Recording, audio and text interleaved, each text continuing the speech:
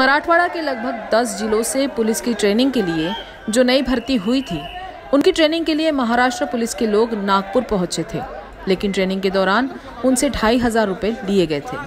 ये बताकर कि इसके बदले में इनको बेल्ट, जूते, वर्दी इत्यादि सामान मिलेगा, लेकिन लगभग पाँच दिनों से ये विद्यार्थी, जो कि महाराष्ट्र पुलिस में सिलेक्टेड हो गए थे, ये मांग रहे थे, लेकिन इन्हें नहीं दिया जा रहा था। उसे देखते हुए लोगों ने यहाँ पर हंगामा किया।